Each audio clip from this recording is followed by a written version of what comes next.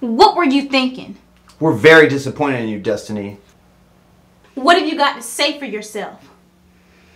I don't understand this, Destiny. No daughter of mine. But I'm not your daughter. Young lady, what'd you say to me? Is it true? I'm not really your daughter, am I? Where did you get that from? In jail! So it is true. You lied to me. I hate you.